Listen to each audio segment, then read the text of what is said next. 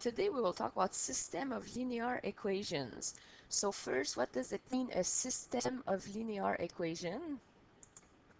So linear equations, it's a line. So remember we talked about different linear equations. So it's going to be a straight line going up or down. And a system means that you have more than one. So this here is a system of two because we have two lines. First degree equations. First degree, that's because we have x exponent 1 with two variables. The two variables are x and y. All right. So if you look at the graph, you see that you have a line going down here because it's minus x. And remember the rate of change, if it's negative, it's going down. And if it's plus 8, that's because here our initial value is 8. If you look at the line going up, it's 1 half, so it's positive, it's going up. And the plus 2 here is our initial value, plus 2. So when you have a system of two equations, they're going to meet in one point, and that's what we call the intersection point, and that's what we call the solution. So if I ask you to solve this system, if I ask you to solve the system, then the answer you have to give me is a coordinate. So let's look at the three methods we can use to find the solution. So first we can look at the graphic. Second, we can use a table of values or we can use algebra, a comparison method. So let's look at the graphic. So first you graph your two lines and like I said, the point where they meet here, this is the solution. So our answer here would be, and then there's one, two, three, four. I can see that we're missing the numbers. They should be here to tell us it's one. So the solution here is 4 on the x-axis and 1, 2, 3, 4 on the y-axis as well. So we can find a solution like that. Second method, we can create a table of value. So with our two rules, I, I called one y1 and the other one y2. It doesn't matter which one and I'm going to put some values for x and find the values for y. So if I decide to put 0 here, I'm going to come in my equation, I'm going to plug in 0. So 1 half times 0 plus 2, that gives me 2. And here, if I plug in my 0, minus 0 plus 8, that's 8. So I can see that this is not my solution because it's not the same answer. So let's try with 2. If I come here and I plug in my 2, 1 half times 2, that's 1, plus 2 is 3. So I have my 3 here.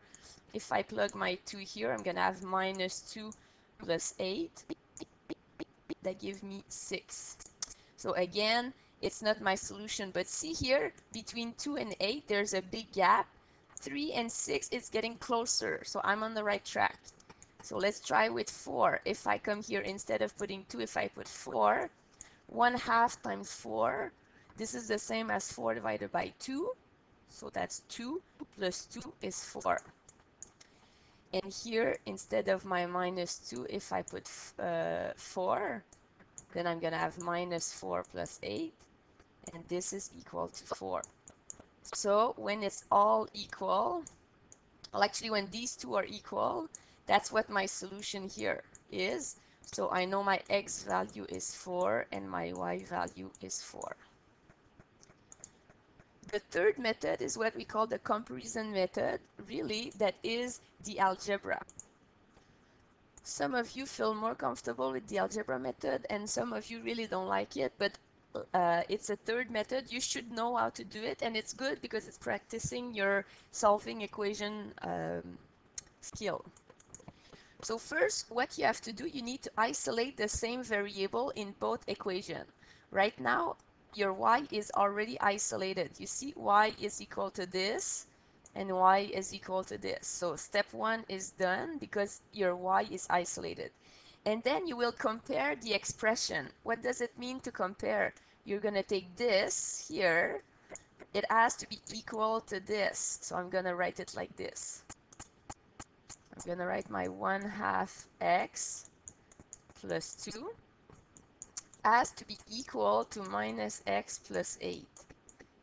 all right because what I'm doing really I'm doing y1 is equal to y2 right my first y has to be equal to my second y.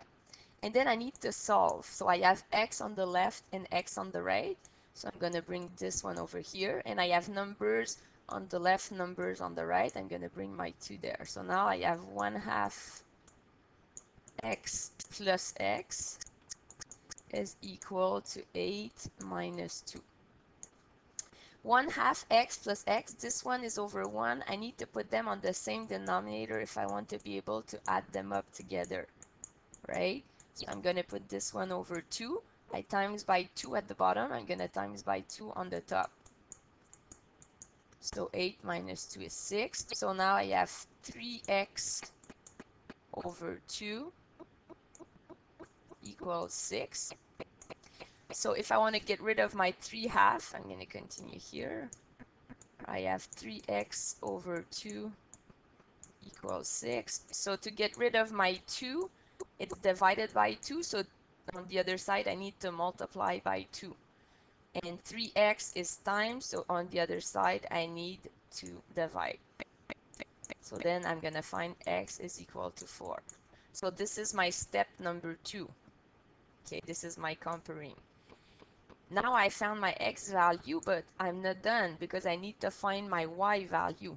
So step number three, I'm going to need to find my y value. So to find y, are you going to use the first equation or the second, or it doesn't matter? So that's for step number three. You can use either one. I'm going to use y2 just because it's easier, right? I can just do minus 4 plus 8 and I'm gonna find my y is equal to 4. Now step number 4, check your answer. That's really important. So to check if I am good, step number 4, I'm gonna plug it in the other rule. So my other rule is this, 1 half x plus 2. What I'm gonna do is I'm gonna plug my y value and my x value to make sure I'm good. So 4, is it equal to 1 half times 4 plus 2? So to check that I'm good, and 4 is equal to 4, so I'm done.